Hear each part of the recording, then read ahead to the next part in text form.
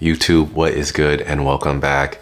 Wanted to come back with a pickups video. It's actually been quite a few months since my last dedicated pickups video. Got some really cool pieces to show you guys. So let's go ahead and hop right into that. All right, so we're gonna start off with footwear. First up, I have my first purchase from a cold wall. This is the NC1 Dirt Moc. Really cool, kind of sneaker hiking hybrid. Really chunky, substantial hiker bottom. Plenty of traction on here. This is also a laceless shoe. So you've got a stretchy material that just kind of wraps and hugs your foot. And then a really interesting upper material on these as well. They call it like a ripstop nubuck. Not really sure where the new nubuck part of this comes in unless it's underneath this kind of ripstop coating on top of here. It's actually a really kind of firm material in the toe box. So I'm assuming there's something to keep this shape underneath at least the toe. Some really subtle cold wall branding hits on the front toe. And then again on the inside of the shoe as well. You have two holes here that give it a little bit of airflow and breathability, one on the inside and then one on the outside heel here. This is a really simple upper, not a lot of layers, patterns, stitching. You have one visible stitch here that kind of keeps these two layers together. I'm sure there's some glue underneath here as well. This looks more like it's for aesthetics than anything else. And then you kind of got like some more cold wall branding embossed or debossed on the heel here. Haven't had a chance to really wear these out yet. Have no idea how this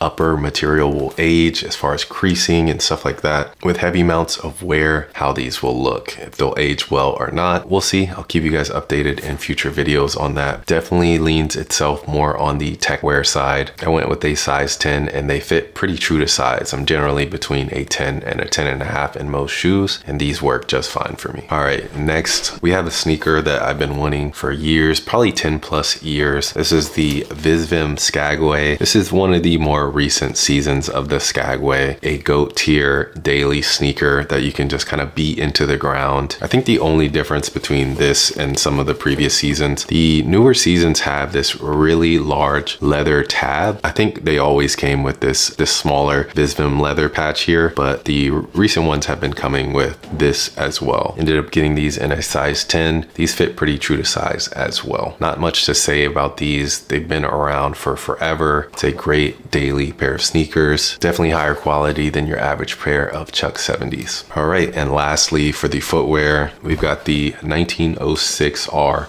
Rosewater.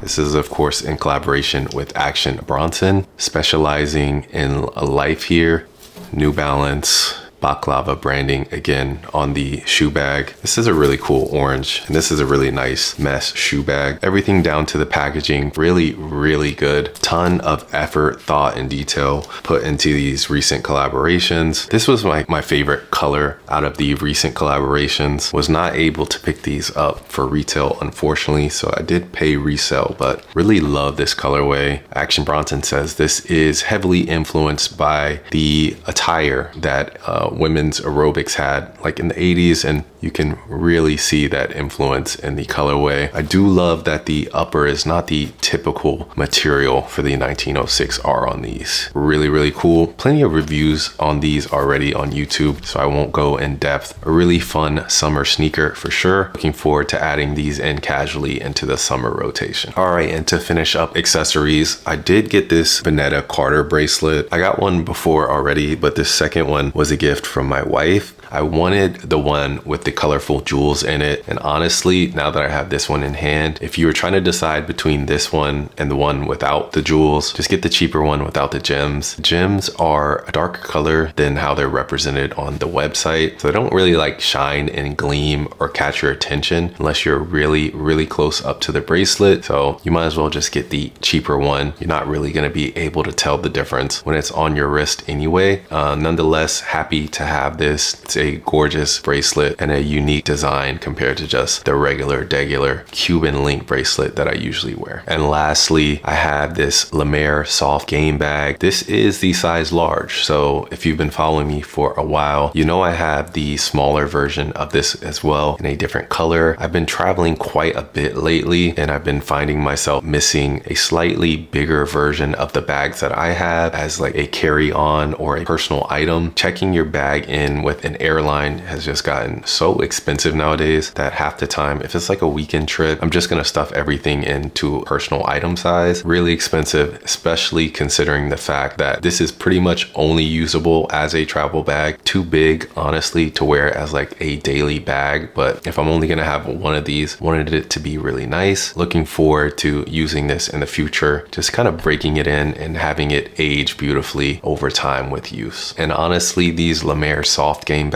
in any size, this is really my favorite bag out of all the different designer and luxury tier bags that you can purchase. Right now, this is definitely my favorite at the moment.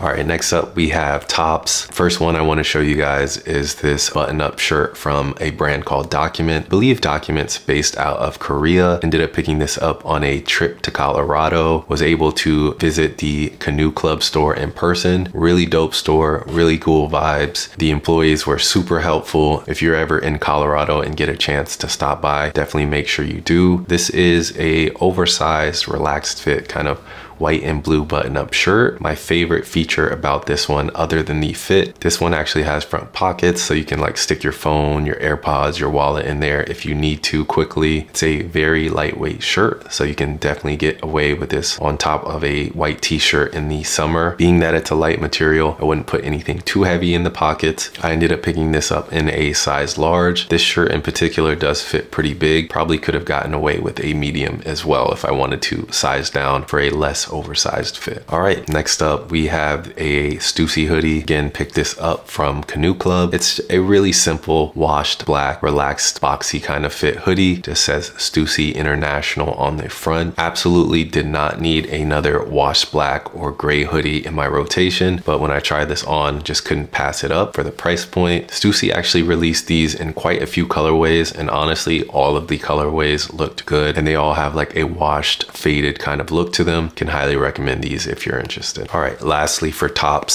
slash outerwear, this is the only jacket. Ended up picking up this Jil Sander bomber. This was actually a birthday present. So shout out again to wifey. She helped me pick this one up. Very expensive piece, but I've been looking for a high quality designer tier kind of bomber jacket for years. Ended up snagging two of them actually. Both were from Jil Sander. Decided, hey, I'll just pick both of these up. Whichever one I like better, I'll keep and the other one I'll send back. So I ended up liking this one and it was the cheaper out of the two. So kind of a win-win in that situation. The other one was just a little bit too cropped for me and the fit wasn't flattering on me at all. But yeah, gorgeous bomber jacket in all black. No complaints whatsoever other than the inside tag started to unstitch on me a little bit. But yeah, easy fix at any tailor. Obviously here in Florida, it's super hot right now. So yeah, we'll not be getting anywhere out of this for at least six months at the minimum.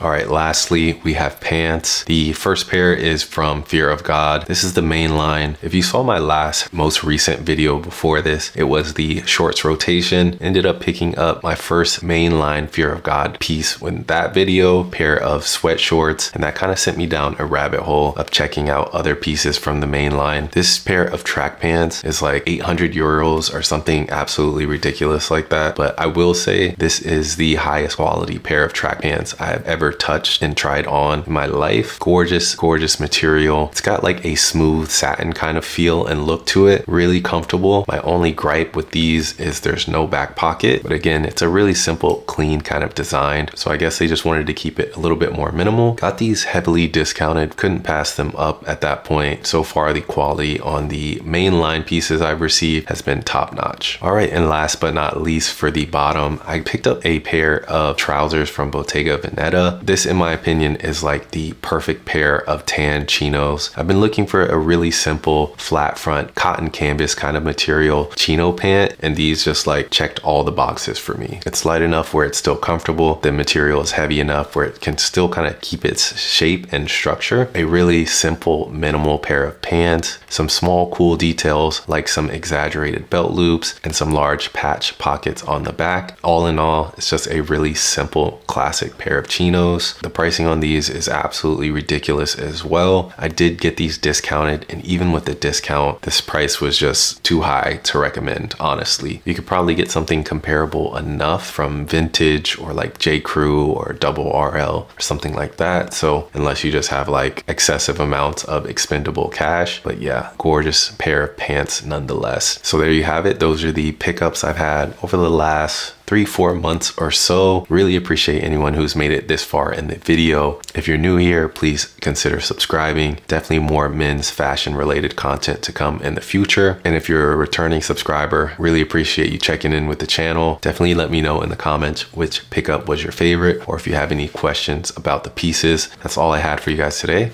Peace.